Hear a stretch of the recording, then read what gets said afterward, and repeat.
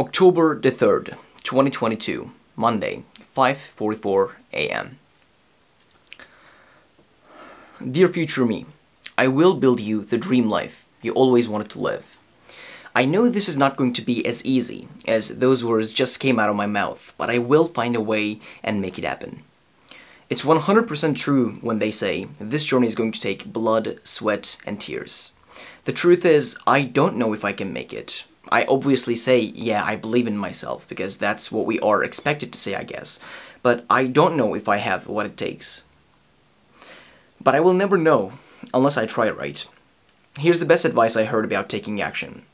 You don't need to believe in yourself to start taking action, but as you are taking more action, you are going to achieve more results.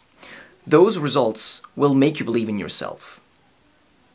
But until those results appear, you need to put your head down and do the work. I think my main problem, and most people's main problem, is that we don't know how to work.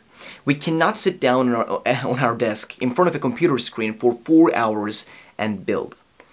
People always say, I'm excited for this journey. And yeah, I am excited for this journey, but I think I'm mostly scared. Because if this journey is 10,000 steps, I've only gone a few hundred of them, so I don't know what to expect. I am scared of the unknown, but I know a few things for sure. As an 18-year-old young man, I need to focus on building my fundamentals. I need to give my best in the gym to build my perfect body. I need to give my best at my brand, at my YouTube channel, to inspire more and more young men to self-improvement.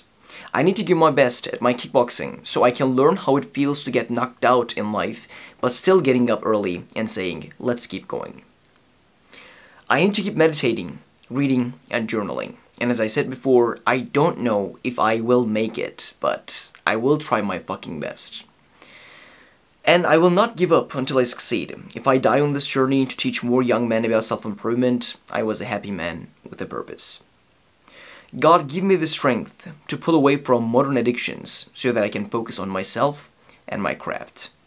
Because I have no choice but to work my ass off.